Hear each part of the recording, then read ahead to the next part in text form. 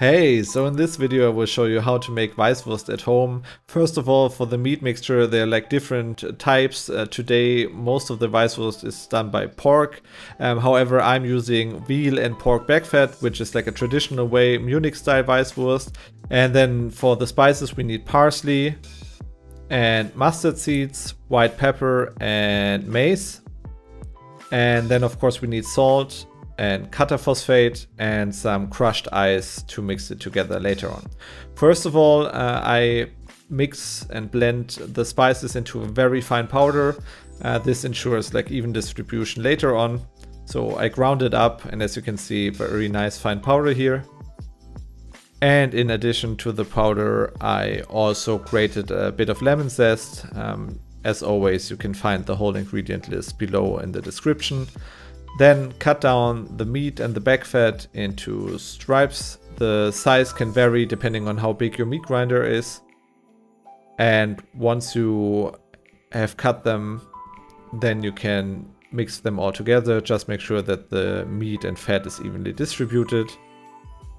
And then add the spices and massage them in and also make sure they are evenly distributed throughout the whole meat fat mixture.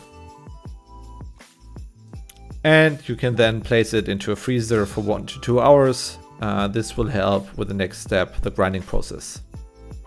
Okay, so I ground up some crushed ice first. You don't have to do this if you already have crushed ice, but we need it later on uh, in the mixing process.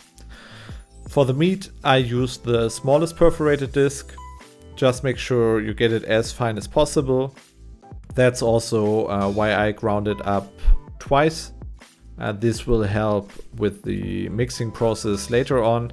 As you can see, it's like a very fine mass coming out with the second grind. However, the thing is we want it even finer, even more distributed. So that's why in the next step, I added it to a food processor as you can see, my food processor is too small. That's why I added it in batches. However, if like a, if you have a big one or if you even have like a sausage cutter, then you can just add it uh, all in one. And then the next part is also where I add the cutter phosphate. And this will help to bind together the crushed ice like the water and the meat mixture.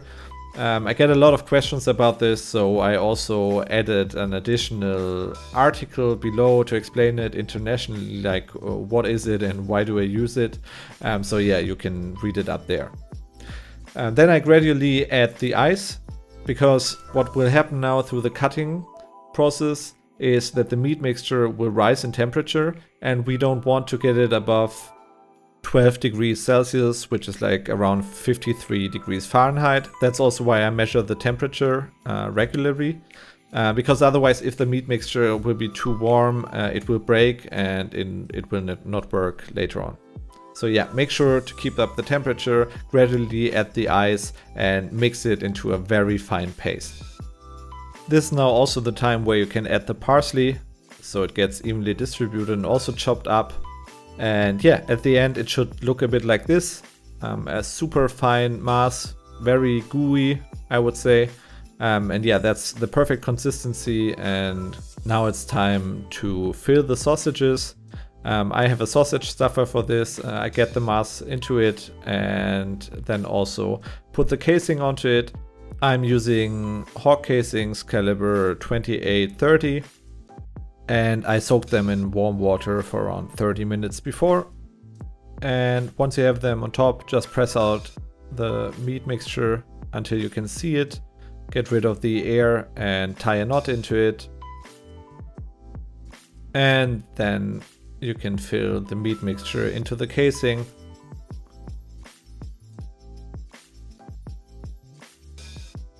Just make sure to not fill it like too hard because otherwise they will burst when we poach them later on. And then it's time to link the sausages. Uh, as you can do it as you want, you can either um, twist them in one direction and then the next one in the other one, or you skip one and go the other way around.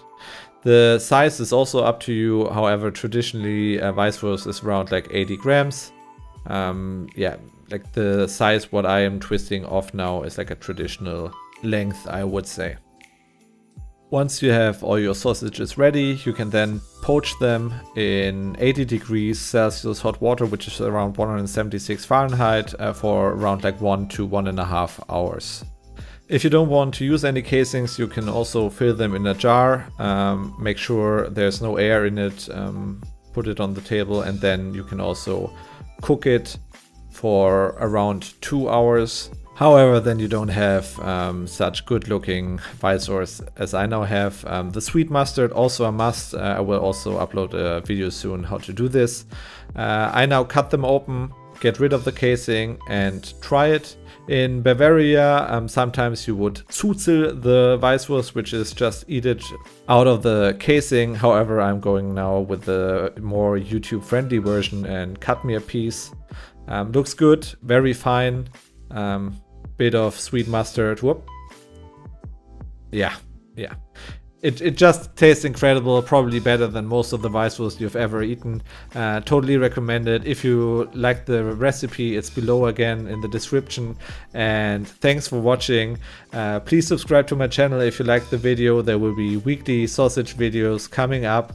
And yeah, I'll see you till the next one. Bye bye.